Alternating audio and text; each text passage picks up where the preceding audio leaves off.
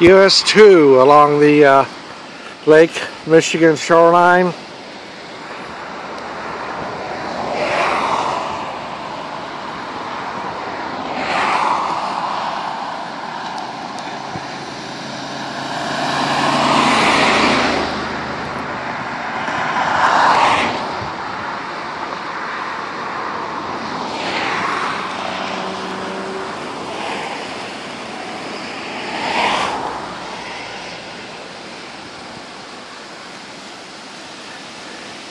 Kind of pan around here.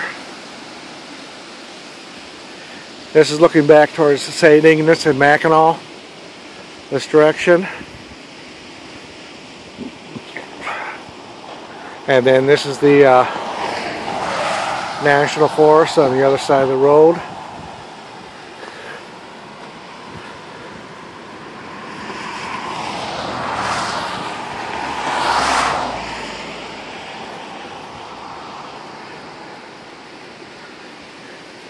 That makes a 360.